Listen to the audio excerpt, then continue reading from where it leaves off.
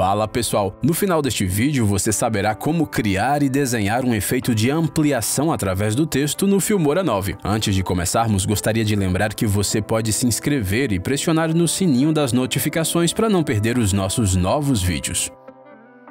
Para começar, acesse a amostra de cor na biblioteca de mídia e adicione a cor preta na sua linha de tempo. Agora vamos adicionar texto. Acessamos a seção do título e adicionamos este título de texto padrão na camada acima da cor preta pré-definida.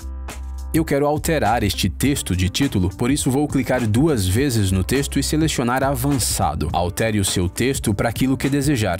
Vou também alterar o tipo de letra para algo diferente, de forma a ficar maior e mais negrito. Quando tiver o seu título pronto, faça uma captura de texto. Para isso, clique no ícone da câmera sob a janela de pré-visualização e elimine o preto sólido e o título da linha de tempo. Coloque a captura do título na segunda camada da linha de tempo.